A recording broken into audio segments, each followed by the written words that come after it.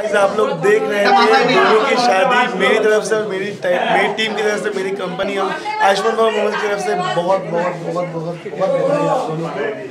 बहुत खुश happy married life चलिए।